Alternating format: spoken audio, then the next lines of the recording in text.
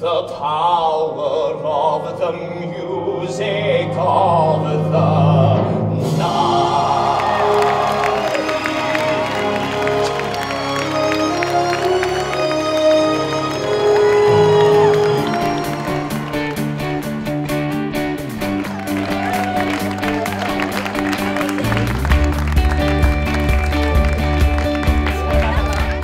We are here because I open tonight uh, as the Phantom in Phantom of the Opera. It's my um, it's my Broadway debut, and I'm really excited.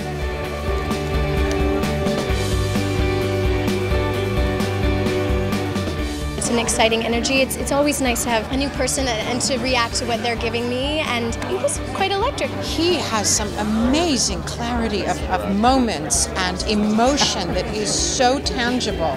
And I found myself completely choked up at the end. Something big happened tonight for Peter as a person, but also for Swedish performers. He's got a completely different energy and he's got this kind of rock star vibe that I really dig and I think audiences are going to love all summer.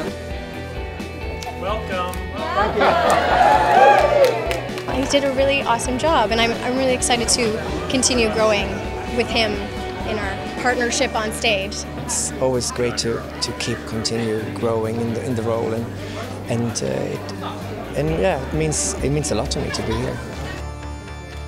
Come and see Phantom of the Opera at the Majestic Theatre here on Broadway. I'm here till the end of August, so please come and see us.